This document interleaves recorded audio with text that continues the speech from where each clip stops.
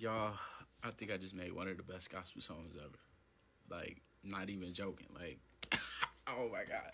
So let me give y'all a little background story before I even play y'all this little snippet of the song. So my father passed. Uh, he been deceased. Well, he was murdered. He been deceased for about a good shit, seven years or something like that. So I was inspired to to make this song just just to help anybody just do anything, not even just like uh like death or things of that nature, just anything. So the song is very, very, very, very, very powerful. So yeah, let me let me let me play this little snippet for y'all.